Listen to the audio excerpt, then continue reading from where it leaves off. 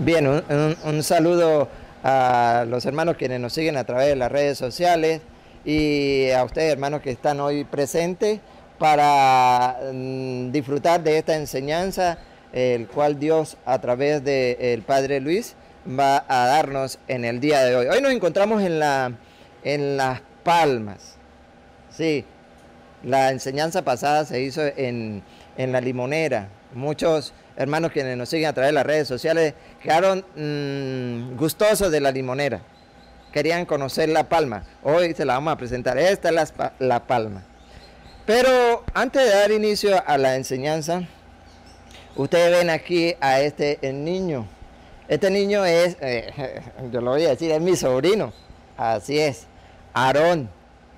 Aarón Martínez. Un niño que tiene siete, siete, ¿no, Aaroncito? Siete añitos. Eso es, para ejemplo, para nosotros y ejemplo para los padres que nos siguen a través de las redes sociales, que tienen sus hijos y ya no saben qué hacer con los hijos porque son muy insoportables en la casa.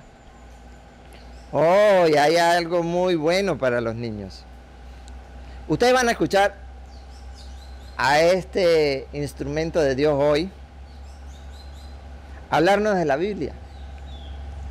Unas citas que eh, ha ido estudiando, porque lo estamos formando también, sepan lo que lo estamos formando, en las cosas de Dios, está estudiando conmigo las Sagradas Escrituras. Este chipilín, siete añitos, estudiando las Sagradas Escrituras. Y con ustedes van a compartir de lo que él ya ha aprendido, las citas que él ya se sabe.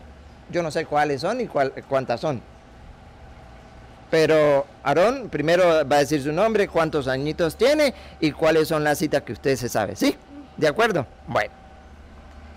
Mi nombre es Aarón Antonio Martínez Delgado, tengo siete años y les voy a decir las citas que me sé. Primer, Colosenses 3:16. Que la palabra de Cristo habite y se sienta a gusto en ustedes. Tengan sabiduría para que puedan enseñar y aconsejar unos a otros. Canten a Dios de todo corazón y con gratitud salmos, himnos y alabanzas espontáneas. Juan 20:17. Jesús le dijo, suéltame, pues aún no he subido al Padre. Pero vete donde mis hermanos y diles, subo a mi Padre que es Padre de ustedes, a mi Dios que es Dios de ustedes. Santiago 1:21. Por eso rechacen las impurezas y los excesos del mal y recién con sencillez la palabra sembrada en usted que tiene poder para salvarlo. Colosenses 3, 23, 24. Cualquier trabajo que hagan, háganlo de buena gana, pensando que trabajan para el Señor y no para los hombres para los hombres. Bien saben que el Señor los recompensará dándole la herencia prometida. Su Señor es Cristo y están a, los, están a su servicio. Segundo de Timoteo 2.24. Un servidor del Señor no debe ser peleador, sino comprensivo con todos, buen pedagogo, paciente en las incomprensiones. Quizá Dios le conceda, quizá Dios le conceda que se convierta y descubra la verdad, liberándose de los lazos del diablo que lo tiene sometido a su voluntad. Lucas 14, 8, 12. Cuando alguien te invita a un banquete de bodas, no escojas el mejor lugar. Puede ocurrir que haya sido invitado otro más importante que tú y el que los invitó a los dos venga y te diga, deja tu lugar a esta persona y con gran vergüenza tendrás que ir a ocupar el último lugar. Al contrario, cuando te inviten, ponte en el último lugar y así cuando llegue el que te invitó te dirá, amigo, ven más arriba y eso para ti será un honor ante los demás invitados. Y, primera eh, de Corintios capítulo 3 versículo 6 y 8.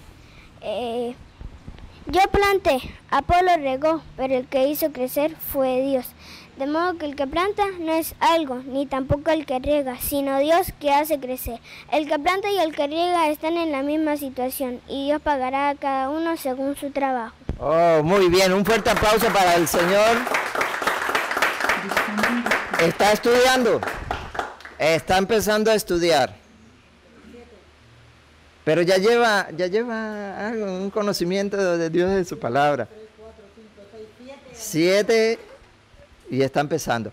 Es decir, que ustedes quienes nos siguen a través de las redes sociales, ustedes que están presentes, también lo pueden hacer con sus hijos. Ese hijo que tiene cinco años, seis años, siete años, ocho años, que mire, son una esponjita en la casa. absorbe. ¿Pero qué está absorbiendo? El televisor ¿Qué está absorbiendo? El, el celular. ¿Qué está absorbiendo? El internet. Eso es rápido que lo absorben. Pero si le damos las sagradas escrituras, ellos también lo absorben. ¿Y qué será más bueno? ¿Televisor? ¿El internet? ¿Celular? ¿O la palabra de Dios? La palabra de Dios. Y por eso, eh, en nombre del Padre Luis, le vamos a hacer un obsequio a Aarón. Le vamos a regalar una Biblia personal para que siga estudiando con las Sagradas Escrituras.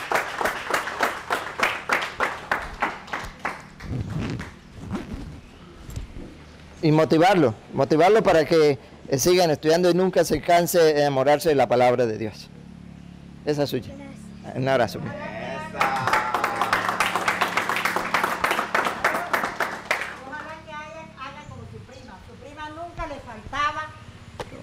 A su prima nunca le faltaba las Sagradas Escrituras en, la, en el bolso, todos los días para el salón de clase, y gracias a ella fue lo que me estimuló a ese grupo de niños tan bonitos que van a salir ahorita de sexto grado. Así es, ¿ah? Andri. Andri. Andri. Hija de Jackson, de profe Jackson. Esa fue la maestra de Andri, la maestra de eh, Jonás también, la de Anthony también. Eh, eh, conozca, enfócamele por favor la maestra de, de, de, Jonás, eh, de Anthony, la señora eh, Nora, la popular Nora, nosotros decimos Nora, María Tolosa. Ella es la que ha ido formando también a esos niños que ustedes siguen a través de las redes sociales.